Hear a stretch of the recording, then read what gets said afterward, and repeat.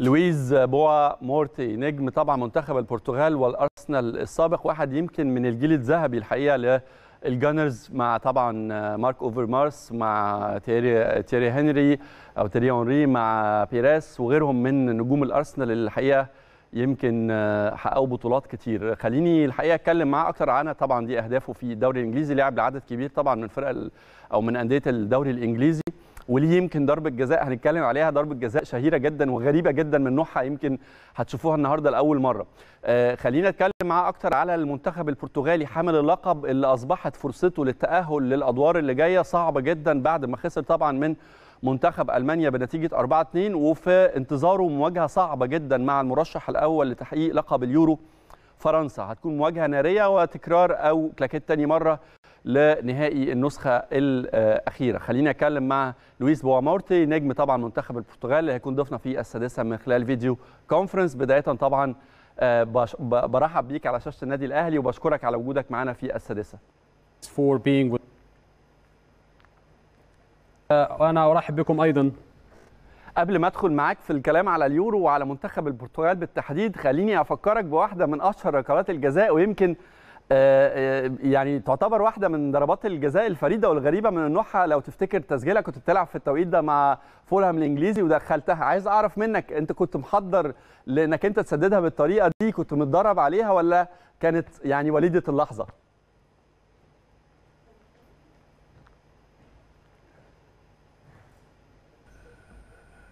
لا كان هذا هذه ضربة الجزاء كنا. معتادين التدريب عليها في حصص التدريبية.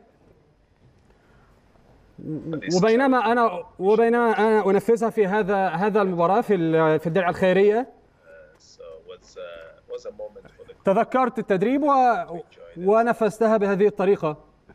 طيب خليني أبدأ معاك بالكلام على المنتخب البرتغالي والحقيقة منتخب بيضم عدد كبير من الأسماء وعدد كبير من النجوم ال superstars يعني وكان كتير بيرشحوا إن هو يحافظ على اللقب اللي حققه في النسخة الأخيرة لكن يمكن البعض بيرى إنه العروض اللي قدمها المنتخب البرتغالي لا تؤهله للمحافظة على اللقب. تتفق أم تختلف مع وجهة النظر دي؟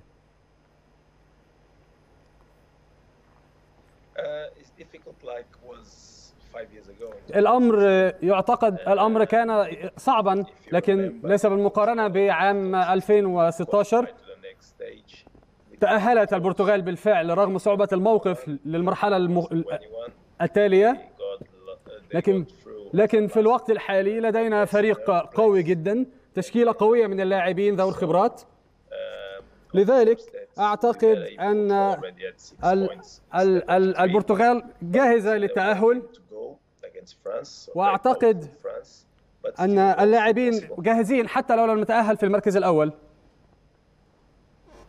طب خليني أسألك على مباراة ألمانيا الأخيرة في في وقت تقدم فيه بالفعل المنتخب البرتغالي في المباراة بالتسجيل طبعا عن طريق كريستيانو رونالدو لكن المباراة شهدت انهيار وتراجع غريب لمنتخب بيضم عدد كبير جدا من نجوم أبرزهم طبعا كريستيانو رونالدو برناردو سيلفا برونو فرنانديز إيه هي أهم أسباب الخسارة أو تراجع مستوى البرتغال في المباراة دي على وجه التحديد؟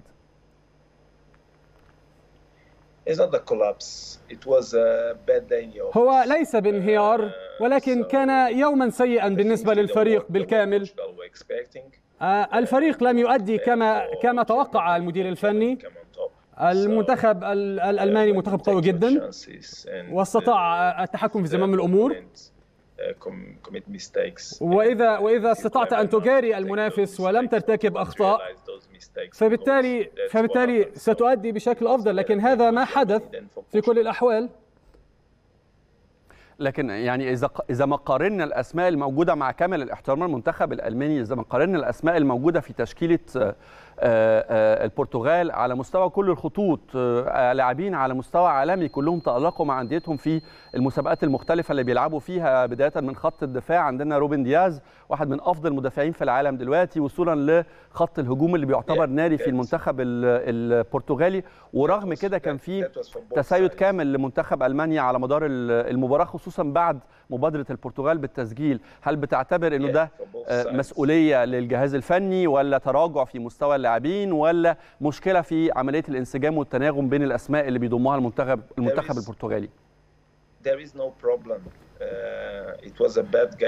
لا. يوجد مشكلة بالنسبة. للمدير الفني واللاعبين. هو فقط كان يوما سيئا. اللاعبون اللاعبون كانوا جاهزين بشكل جيد لكن الجانب جانب ال- ال- الجانبين من الف... يعني كلا الجانبين الالماني والبرتغالي منتخبين قويين جدا. ولذلك هو كان يوما سيئا فقط للبرتغال. لا. لا يمثل هذا الفريق القوي. طيب إذا اعتبرنا ده آه، حالة استثنائية خليني أروح للمواجهة الم- المنتظرة. مواجهة من العيار ال- التقيل جدا. هتجمع بين منتخب بكرة إن شاء الله بين منتخب البرتغال ومنتخب فرنسا. من وجهة نظرك كيف سيخوض سانتوس المدير الفني للبرتغال المباراة؟ وهل تتوقع انه يكون في آه، تغيير في التشكيلة سواء من ناحية الأسماء أو من ناحية طريقة اللعب لمواجهة الديوك الفرنسيه is not is not uh, uh, think that expect not expectation of changes. لا أعتقد أنه سيوجد تغييرات كثيرة في صفوف المنتخب البرتغالي. أعتقد فقط أنه سي... سيرتب للمباراة بشكل أفضل. بالتأكيد سيتكلم مع اللاعبين عن المباريات الماضية ويعالج الأخطاء. والمدير الفني المدير الفني درب الفريق لعدة سنوات فبالتالي هو يستطيع أن يعالج هذه الأخطاء ولديه خيارات كثيرة. ولديه خيارات كثيرة ولكن أعتقد أنه سيبدأ بنفس التشكيلة وأعتقد أن هناك ال- الم- المزيد من التغييرات في المباراة القادمة. وأعتقد سنشاهد مباراة جيدة. وأعتقد أن الفوز سيكون للبرتغال. مواجهة يترتب عليها التأهل للأدوار ال- التالية أو الخروج من البطولة. هل تعتقد إنه إذا تأهل المنتخب البرتغالي هل ما زال عنده نفس القدرة للحفاظ على اللقب اللي حققه في نسخة 2016 بالطبع بالطبع. البرتغال لديها فرصة قوية جدا للحفاظ على اللقب الحفاظ الاحتفاظ باللقب. و- و... و... و... ولا ولا أعلم إن كنت تعلم ذلك لكن البرتغال منتخب منتخب قوي جدا. ولو فاز البرتغال بمباراة الغد سيفوز بالبطولة بالطبع. مين المنتخبات اللي بترى إنها بتملك فرصة آه، منافسة البرتغال على تحقيق اللقب. يعني مين هي المنتخبات من واقع مواجهات الجولة الأولى اللي أنت بالتأكيد تابعتها شايف إن عندها حظوظ للوصول للقب اليورو 2020 يوجد العديد من الفرق القوية جدا في البطولة. ال- على سبيل المثال ألمانيا أدت أداء قويا. آه، هولندا كذلك. وأيضا آه، يوجد منتخب البلجيكي فبالنسبة لي هذه الفرق الخمسة بجانب إيطاليا وأسبانيا. لديهم فرص قوية. نحن نحن أكيد أكيد. صدمنا بمستوى المنتخب الإسباني لكن لديهم يظل لديهم فرص قوية بجانب ألمانيا وهولندا والبرتغال وبلجيكا. هذه هي الفرق التي أرشحها. كتير من ال- من المعجبين أو المشجعين المنتخب البرتغالي بيروا إنه منتخب كريستيانو رونالدو. رغم إنه المنتخب الحقيقة زي ما أنا قلت بيضم عدد كبير جدا من الأسماء ال- المحترمة. هل بتعتقد إنه آه، أداء أو نتائج المنتخب مرتبط بشكل مباشر بمستوى كريستيانو رونالدو؟ إذا أجاد فالمنتخب بيكسب وإذا لم يجيد فالمنتخب من الممكن يتعرض لخسارة ولا بترى إنه منتخب بيعتمد في المقام الأول والأخير على الكرة الجماعية وعلى كل النجوم الموجودة فيه؟ هذه تظل آراء الناس خارج ال- الفريق. ويجب أن نحترمها بال- بالطبع. لكن في وجهة في وجهة نظري ليس بمنتخب كريستيانو رونالدو وحده فقط. هو بالطبع هو أفضل لاعب في العالم لسنوات بجانب ميسي. لكن أعتقد أنه ليس منتخب كريستيانو رونالدو وحده. إنه منتخب قومي كما تعرف. منتخب قومي يعبر عن البرتغال وليس لاعب بعينه كتير من الآراء كمان وأنا يمكن بتفق شخصيا مع الآراء دي كانت بتشوف إنه جواو فيليكس النجم البرتغالي ونجم أتلتيكو مدريد هو الخليفة المنتظر لموهبه بحجم وقيمة كريستيانو رونالدو ورغم كده ما شفناش ليه دور آه، قوي أو بصمة واضحة مع المنتخب البرتغالي من وجهة نظرك إيه السبب في ده؟ Who who didn't show what is expected? آه، جواب فيليك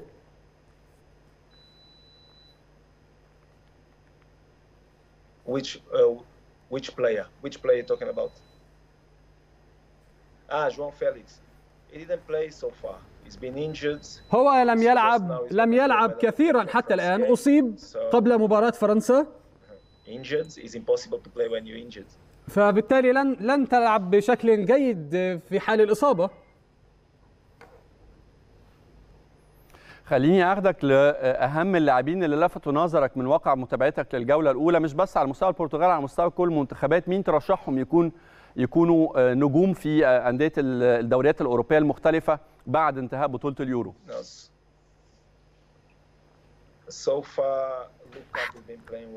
حتى الآن Uh, في يوجد العديد من اللاعبين. في هولندا Um, لاحظتهم في هذه البطولة there's the boy from England playing as well. أنفودين في إنجل في There's few players that uh, I, think من لاعب. boy from uh, uh, آه، أكثر من لاعب. في. منتخب التشيك كذلك It's not like you can say that this one is good, this one is better than ليس. فقط مجرد أن نقول أن هذا اللاعب بعينه لكن في هذه اللحظة يوجد العديد من اللاعبين بالفعل يقضون آه، وقتا طيبا ويؤدون أداء جيدا في هذه البطولة. Uh, سنرى. أمامنا أمامنا المزيد من. اللقاءات لنرى المزيد من الأداء الجيد. لويز بوامورتي أنا عارف إنك أنت يمكن بعد انتهاء مسيرتك في الملاعب كلاعب طبعا في عدد كبير من الأندية اتجهت للتدريب على مستوى طرق اللعب على مستوى ال tactics. هل لاحظت إن في شيء جديد يعني أضافته بطولة اليورو للناحيه الخططية للناحية التكتيكية؟ ولا بنتكلم على مدارس كلاسيكية أو تقليدية تابعتها من خلال أداء معظم المنتخبات؟ No, Euros is for everyone. بالطبع أضافت للجميع من الناحية الفنية والخططية. هذه المنافسات قوية جدا.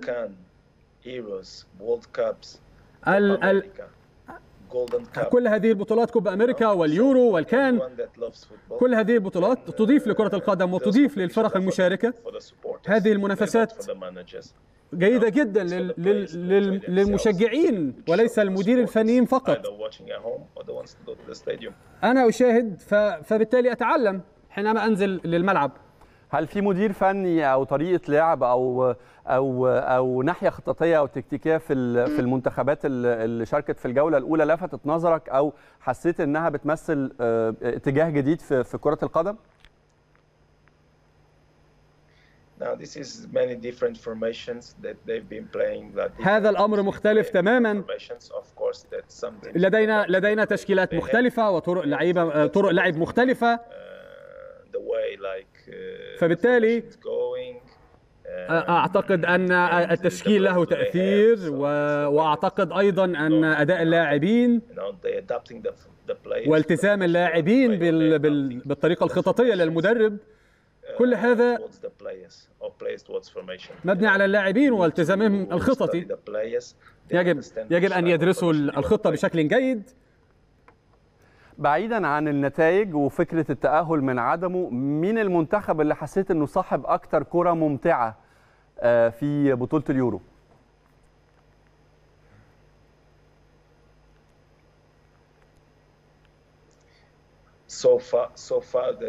حتى. Belgium, يوجد العديد من الفرق بلجيكا على رأس هذه الفرق وأيضا هولندا ويوجد أيضا المنتخب الإيطالي يقدم كرة جيدة أيضا. لذلك هذه هذه الأندية طبعا بجانب المنتخب الفرنسي. والبرتغال في المباراة الأولى. فقط ذلك هذه هذه الفرق. وحتى الآن لا يوجد فريق واحد استأثر بالأداء المميز. سؤالي الأخير ليك هيكون بعيدا عن ال- اليورو. السؤال الحقيقة متعلق آه، بنادي الأرسنال واللي يمكن الحقيقة يمكن في الوقت اللي أنت كنت بتلعب فيه كان ليه شعبية كبيرة جدا على مستوى العالم وكان بيضم عدد كبير جدا من النجوم المميزين في كرة القدم. الأرسنال يعاني في حقبة أو في فترة مرحلة ما بعد أرسن فينجر. آه، تولى المسؤولية أوناي إمري وصولا لأرتيتا طبعا ولكن ما زال الأرسنال بعيد عن نسخة الأرسنال الإنجليزية اللي يمكن تألقت وكانت بتنافس على مستوى إنجلترا وأوروبا. من وجهة نظرك إزاي يرجع الأرسنال on track زي ما بيقولوا مرة ثانية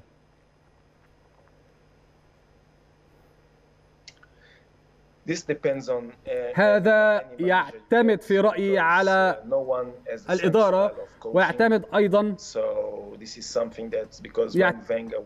يعتمد أيضا على منظومة ككل وليس المدرب بحد ذاته. فأرسن فينجر كان يعمل كان يعمل في فريق عمل كامل. كان لديك كان لديك مدرب أوناي إمري لكن طريقة مختلفة تماما. ف... فطبيعي الأمر يختلف بعد أرسن فينجر. لو كان المدرب يلعب بطريقة معينة والمدرب بعده يلعب بنفس الطريقة سيختلف الأمر. كل كل مدرب يسلك طريقه الخاص به. فبالتالي لا تستطيع أن أن أن تنسخ طريقة أداء المدرب السابق كما هي فالأمر يختلف.